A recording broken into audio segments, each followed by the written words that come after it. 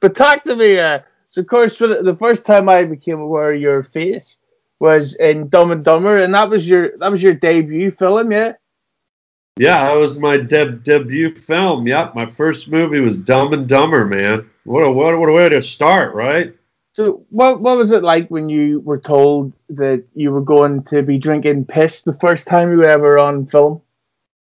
Um, you know, I, I I don't know. It was it was just weird because originally I was up for the uh, the leading role with the Jeff Daniels role, and uh, so I kind of had it in my head I was going to be doing that role, but then uh, Jeff got it, and then they gave me the the uh, cop role as kind of uh, a nice little parting present. They didn't have to, but they did. So I was like, oh, cool, man. So. Did you ever think one of those Farrellys would end up winning an Oscar?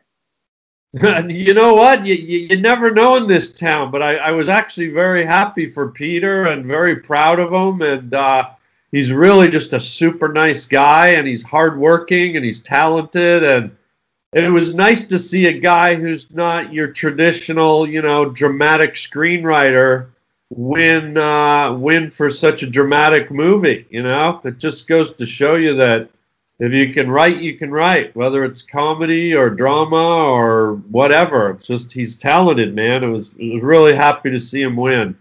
I say three cheers for Peter Dice Farrelly.